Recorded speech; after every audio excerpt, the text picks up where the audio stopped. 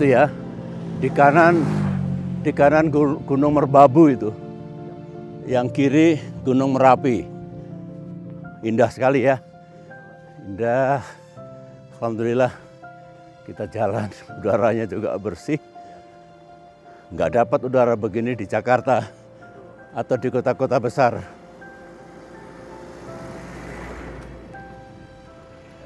Penduduknya juga sepertinya damai ya.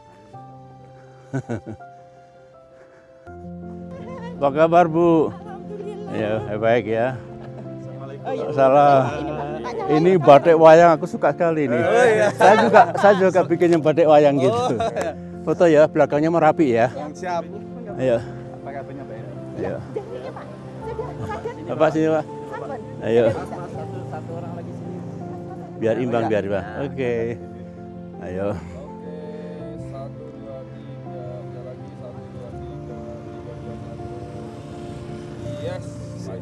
Sehat dan sukses semuanya.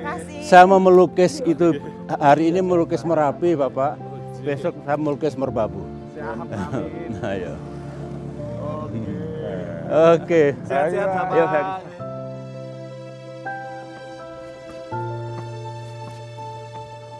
Masih segar masih segar.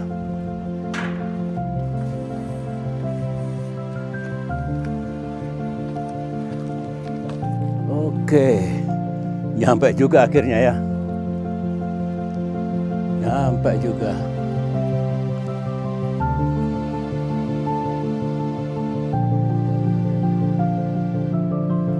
Teman-teman, setelah tadi saya uh, berangkat dari kota Boyolali, sekarang sudah sampai di Desa Samiran, Kecamatan Selo. Ada yang bilang Selo, ada yang bilang Selo. Kita lihat di sebelah sana adalah Gunung Merapi yang sangat indah. Sebenarnya di sebelah sana, di ujung yang kirinya lagi adalah Gunung Merbabu. Jadi saya berada di antara Gunung Merapi dan Gunung Merbabu. Kalau kita lihat di peta, Merapi ini bisa dilihat dari beberapa arah. Dari arah selatan, Merapi dilihat dari Yogyakarta yang bentuknya lebih runcing. Kemudian dari arah timur, dari Boyolali ini. Dari utara, Merbabu, kemudian di sana Ambarawa. Kalau dari sebelah barat, Magelang bisa melihat Merapi. Inilah Merapi. Saya berada di kecamatan Selo atau Selo tadi. Kalau saya lihat, ini kompas saya, dari tempat saya ini ke Gunung Merapi 190 derajat. Ya hampir selatan lah begitu. Sedangkan uh, cuacanya sekarang ini biasanya lebih sejuk. Tadi dilihat sekitar eh, uh, 24 derajat. Tadi pagi tentu lebih dingin, lebih sejuk. Ketinggiannya 1670 meter. Jadi tidak terlalu dingin tapi cukup sejuk.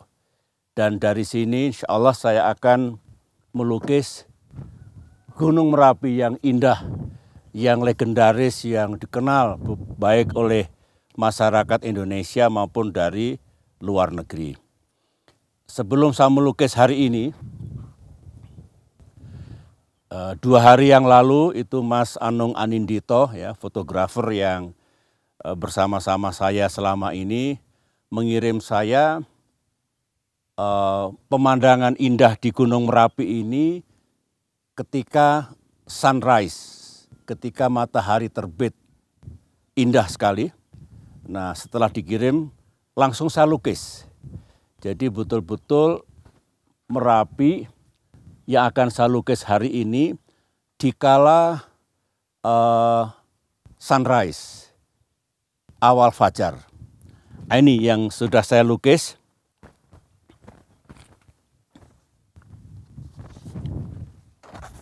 Jadi Gunung Merapi.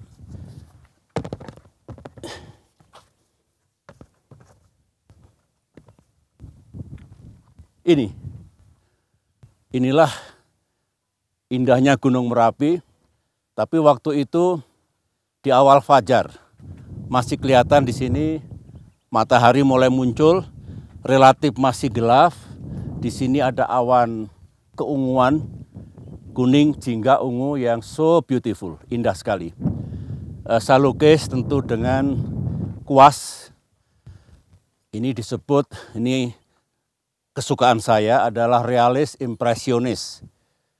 Bedanya sama realis murni, impresionis bisa diangkat ya kontrasnya, tata warnanya sehingga lebih impresif begitu.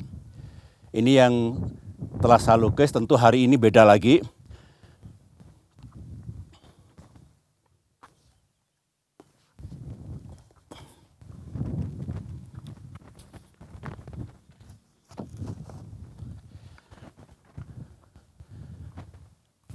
ini saya melukis dari cara langsung. Namanya outdoor painting atau plain air painting yang artinya saya lihat langsung saya lukis. Tidak menggunakan referensi foto ataupun imajinasi. Uh, saya tidak terlalu sering melukis dari alam, ke depan barangkali lebih sering nanti. Yang saya lakukan lebih banyak di studio. Nah, karena saya makin mengagumi keindahan alam di Indonesia ataupun di negara lain, ke depan saya berencana saya ingin lebih banyak melukis langsung uh, di alamnya, di sekitar objek yang akan saya lukis itu.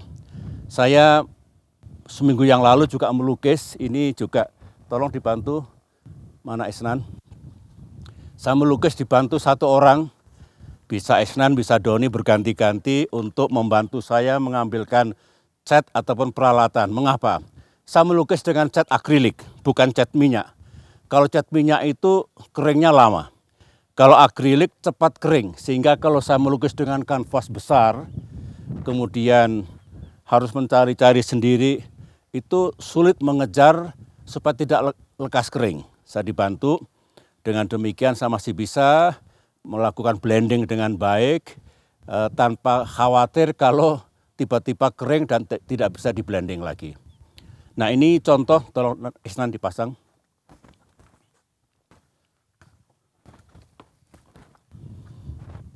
Ini salukes dari luar. Ini sebetulnya di depan rumah saya di Cekeas.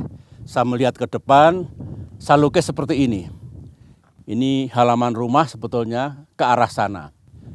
Tapi ini juga realis impresionis. Artinya ya lebih natural gitu. Ini contohnya. Nah hari ini saya melukis dengan yang disebut semi abstrak. Semi abstrak landscape. Semi abstrak landscape. Uh, yang saya maksudkan saya akan menambahkan uh, tekstur di situ.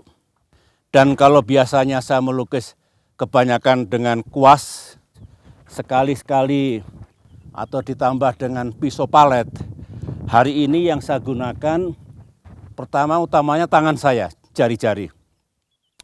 Kalau perlu saya tambah ini sedikit kalau diperlukan. Tapi musle saya menggunakan jari-jari saya, tangan saya. Saya kira Teman-teman ingat ada maestro kita dulu namanya Avandi. Beliau almarhum juga menggunakan kekuatan tangan untuk melukis yang lukisannya luar biasa bagusnya. Di dunia juga ada yang sering saya lihat misalkan pelukis dari Jerman, Christopher Lemful itu juga dengan tangan. Ada lagi dari Inggris, George Lauret itu juga dengan tangan. Ada beberapa di seluruh dunia ini teksturnya juga tebal. Saya tentu ingin dengan karakter saya sendiri, dengan gaya sendiri, sehingga insya Allah ya, karena saya masih belajar terus ini, ini baru dua setengah tahun, masih panjang yang harus saya uh, capai untuk meningkatkan keterampilan saya.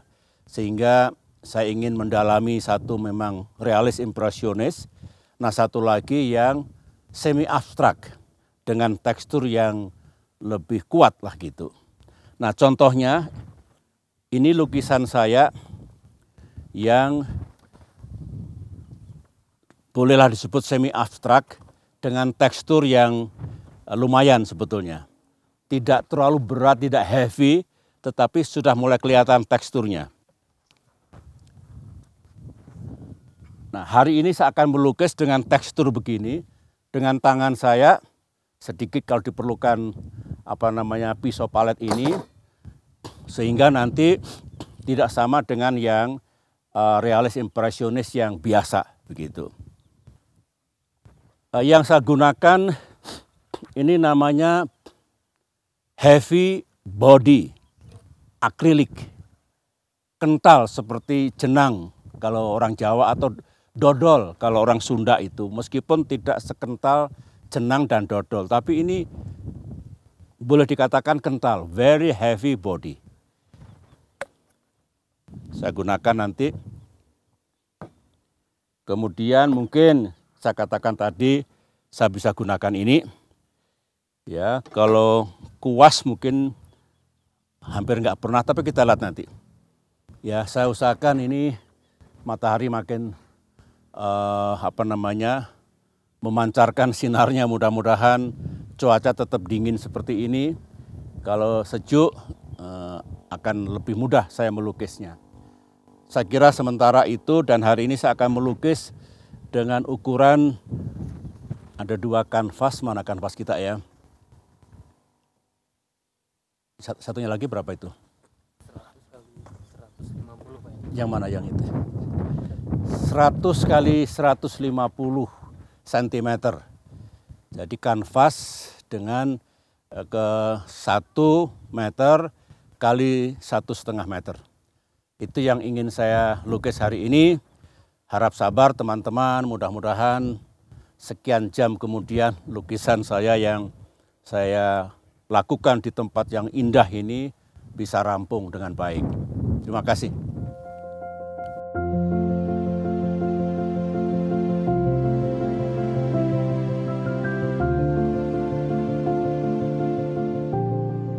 Sketch yang saya buat tapi tidak usah dikhawatirkan. Kalau loose painting semi abstrak itu akan berubah setiap saat. Yang penting tidak berubah gunung merapinya. Jadi tidak usah worry dengan sketch bisa sudah saya siapkan. Saya menggunakan sarung tangan karena saya akan melukis dengan jari-jari. Jadi uh, ini perlu sehingga tidak terlalu mengganggu pori-pori kulit saya.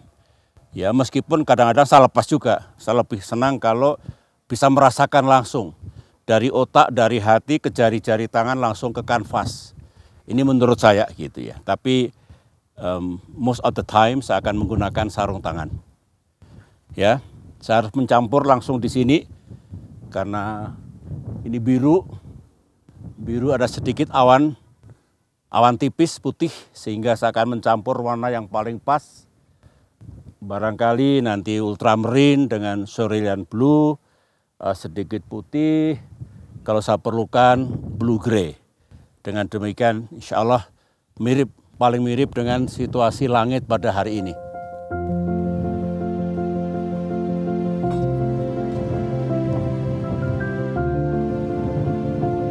Ini kekentalannya seperti ini.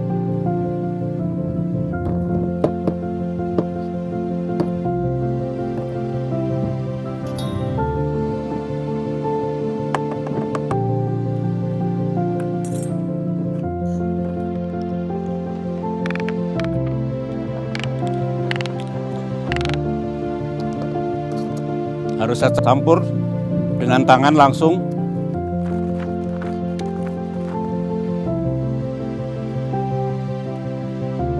Biasanya saya angkat sedikit lebih biru sedikit dibandingkan yang aslinya. Saya masih menggunakan impresionisme semi abstrak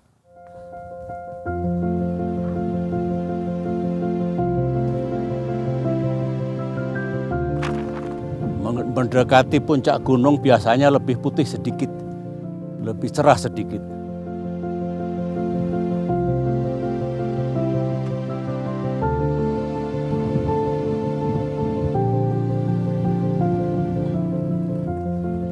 Di sana kelihatan yang lereng yang paling kanan langit di atasnya lebih cerah sedikit, tidak terlalu biru. Meskipun bisa berubah setiap saat.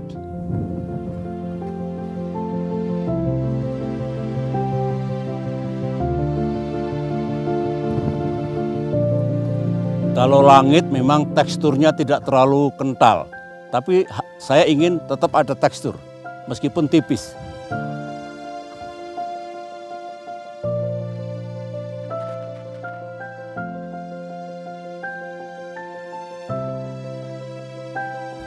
Inilah kurang lebih saya belum ingin menyempurnakan, yang penting gambarannya seperti ini.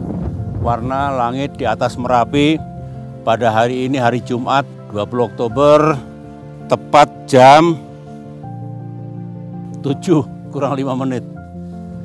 Ya, ini ini sudah saya rampungkan langitnya. Memang ada sedikit masalah, ada handicap. Anginnya kencang sekali sehingga meskipun sudah tebal, cepat sekali keringnya.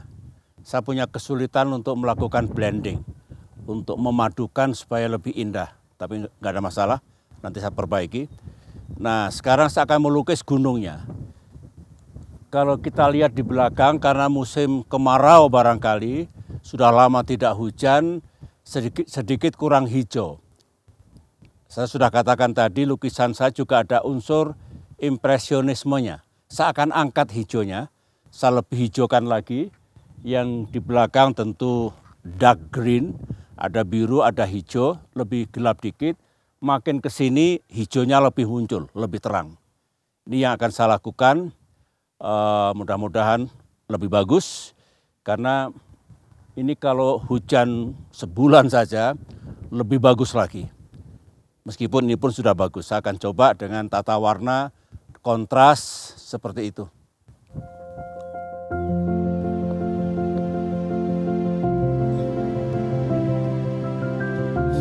Harus harus begini nih.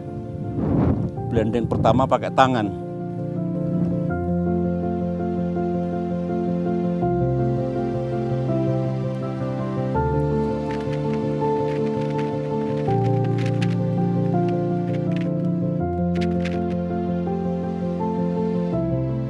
Yang bagian belakang justru puncak dari Gunung Merapi yang paling jauh belum saya lukis belakangan saya selesaikan dulu yang tampak lebih dekat.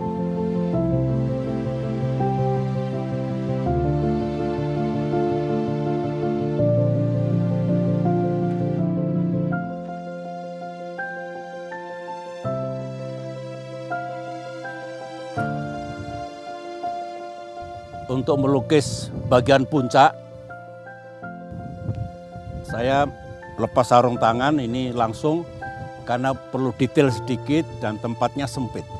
Jadi kalau saya pakai sarung tangan pasti uh, uh, kurang-kurang rapi nanti.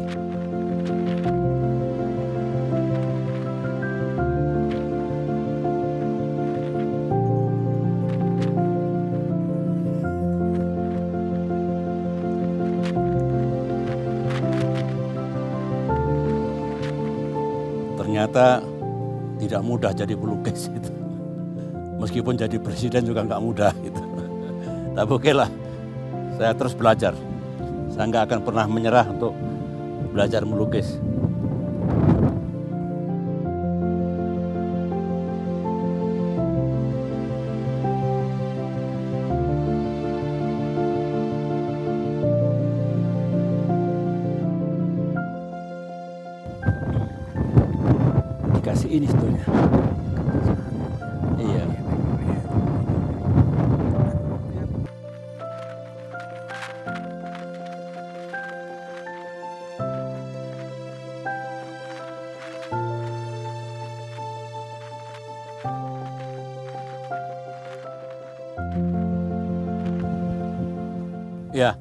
Dengan kondisi ini sebetulnya fondasi sudah saya rampungkan. Sebetulnya kalau tidak ada handicap uh, cuaca, angin, sinar matahari yang langsung mempercepat pengeringannya, saya bisa selesaikan di sini. Bisa perlu waktu sekitar satu setengah jam lagi sampai selesai gitu. Tetapi karena cuaca seperti ini, ada, ada sedikit handicap. Uh, saya foundationnya dulu. Nanti saya lihat perkembangan cuacanya, baru saya rampungkan. Tapi inilah kira-kira fondasi awal dari Gunung Merapi pada posisi hari ini. Tentu belum rapi karena ini masih fondasi, tapi saya kira sudah cukup memberikan gambaran. Ada yang puncak yang jauh sana, ada yang lebih dekat, makin ke sini makin terang, dan di sana sini juga ada tanah uh, coklat kemerahan, coklat kuning kemerahan kalau pelukis tahu ini campuran antara burnt sienna, burnt umber dengan yellow ochre. Di situ kombinasinya. Saya kira sementara begitu dulu. Ya kita harus memberikan apresiasi pada para seniman pelukis karena uh, tidak kecil tantangannya untuk menghadirkan karya seni yang bagus. Di negeri ini semua penting, semua penting sehingga harus dibangun suasana saling menghargai, saling memberikan apresiasi kepada siapa pun, profesi apa pun yang mereka geluti.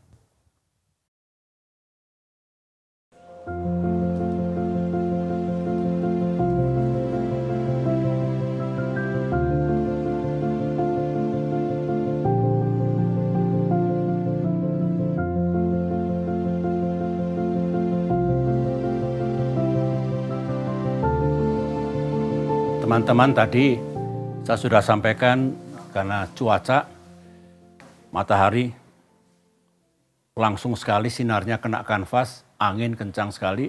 Saya pindah 15 meter ke sini. Saya lanjutkan, tapi karena ini hari Jumat, bentar lagi kita akan sholat Jumat bersama, maka saya biarkan seperti ini dulu. Nanti setelah itu, setelah ibadah, saya lanjutkan dengan yang lebih detail. Yang belum saya rampungkan adalah ada berapa pohon-pohon besar di sini, ada berapa rumah di lereng tepi kiri ini dan tengah bawah, kemudian tacap di sana sini. Tapi ya inilah yang bisa saya abadikan Gunung Merapi pada hari ini, pada cuaca seperti sekarang ini. Uh, ada handicap yang saya hadapi sekali lagi, meskipun ini namanya heavy body acrylics dan diketahui tidak mudah kering sebetulnya sehingga saya bisa menggerakkan jari-jari saya lebih lincah lagi uh, tetapi tidak memungkinkan sehingga beberapa bagian harus saya ulang tapi insya Allah akan selesai hari ini juga terima kasih.